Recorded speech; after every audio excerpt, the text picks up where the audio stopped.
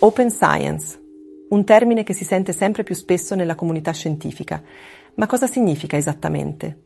La scienza è alimentata dai progressi nelle tecnologie e negli strumenti digitali, nell'intelligenza artificiale, nei big data, nell'Internet delle cose, nella stampa 3D e nel calcolo quantistico nonché da infrastrutture digitali e fisiche aperte come laboratori aperti, sistemi aperti, biblioteche, beni culturali, basi di conoscenza digitali, riviste ad accesso aperto e campus universitari aperti, riprogettati.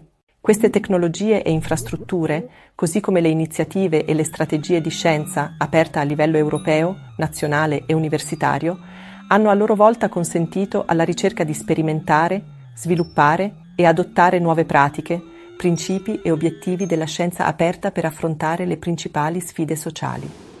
Sia l'UNESCO che la Commissione europea si sono pronunciati in merito e definiscono la Open Science come un nuovo approccio per rendere la ricerca scientifica più accessibile e trasparente e per sviluppare congiuntamente soluzioni alle sfide globali.